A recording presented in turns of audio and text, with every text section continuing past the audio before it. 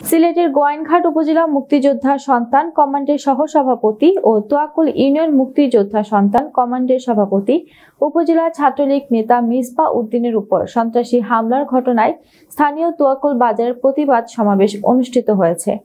Toyakul union মুক্তিযোদ্ধা সন্তান কমান্ডের উদ্যোগে প্রতিবাদ সমাবেশ সভাপতিত্ব করেন ইউনিয়ন মুক্তিযোদ্ধা সন্তান কমান্ডের সহসভাপতি রেজাউল করিম।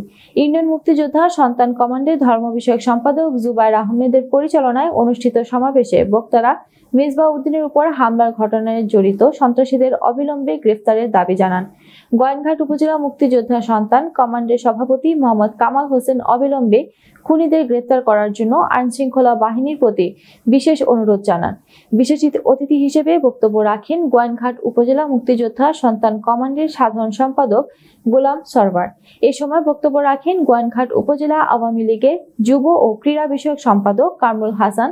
বিশেষ অতিথি হিসেবে বক্তব্য রাখেন ইউনিয়ন আওয়ামী লীগের সাধারণ সম্পাদক মোহাম্মদ লোকমান, ইউপি সদস্য লোকমান আহমেদ, গোয়াইনঘাট উপজেলা ছাত্রলীগের সাবেক সভাপতি মিসবা উদ্দিন, ইউনিয়ন পরিষদের সদস্য হেলাল উদ্দিন, বীর মুক্তিযোদ্ধা আব্দুল মতিন সহ আরও অনেকে।